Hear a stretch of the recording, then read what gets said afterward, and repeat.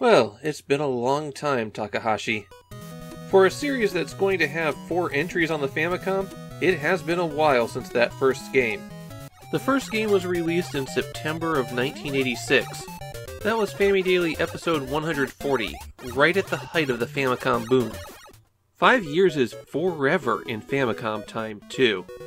So what has brought Takahashi Meijin back to the Famicom after all this time? Well, it's hard to say for sure, but I get the impression that Hudson is finally pulling away from the PC Engine.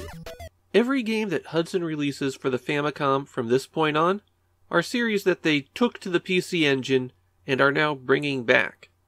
In fact, just a week before the release of this game, Hudson released Takahashi Meijin no Shinbokenjima on the PC Engine, because this series wasn't complicated enough. That's the game called New Adventure Island internationally.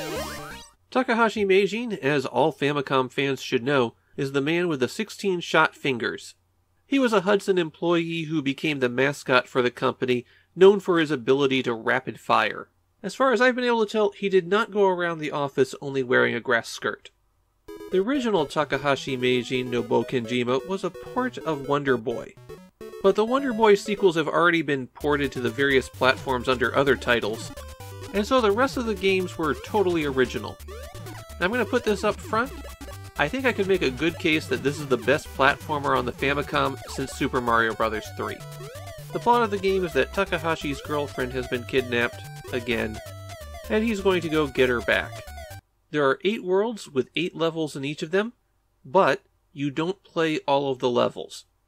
When you complete a stage, you go to this bonus round, and what egg you collect determines what level you go to. After you've cleared enough stages for that world, then you go to the boss stage. The controls on the stage should be familiar. A jumps while holding down B will make you run. If you've collected an X from an egg, then tapping B will throw that. The big new addition here are the dinosaur friends.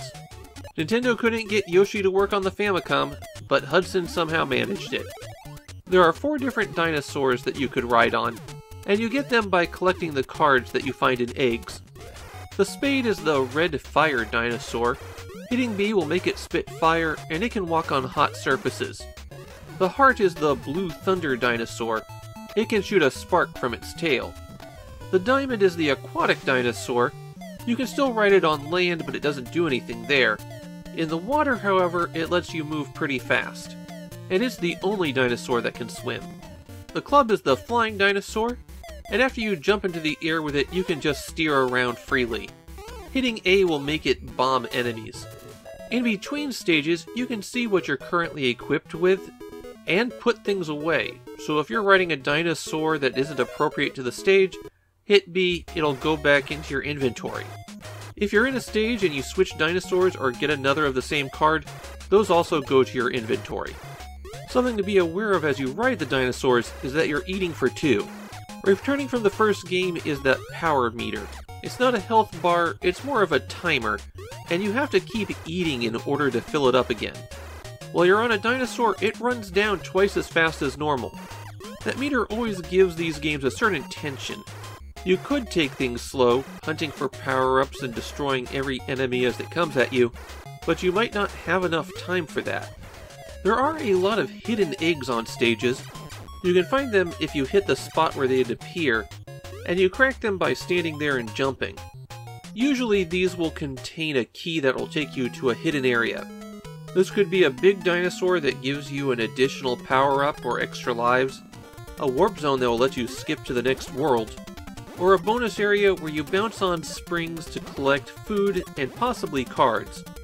The stages aren't especially long in Takahashi Meijin no Bokenjima 2 but they make up for that by being vicious.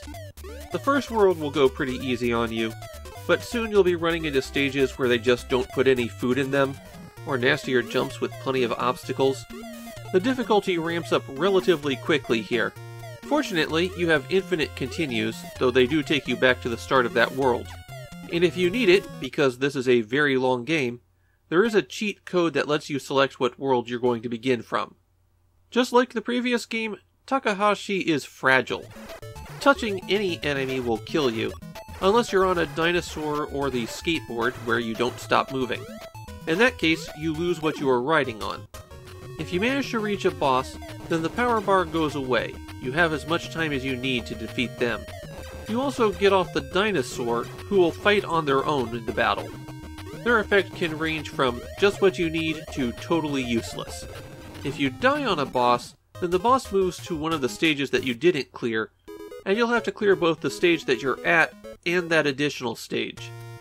Although this is a well-regarded game in Japan, it didn't sell a whole lot on release. Still, Hudson must have been satisfied since they went on to make two more sequels on the Famicom. They also made a Game Boy port of Takahashi Meijin no Bokenjima 2, and that version is surprisingly close to this. In fact, the Game Boy version outsold the Famicom version. Obviously, I like this game quite a bit. Although it is pretty difficult, the controls are really tight, and so it never really feels unfair or frustrating. And the dinosaurs add a lot of fun to the game. Deciding what, if anything, you want to take into a level gives the game a bit more depth.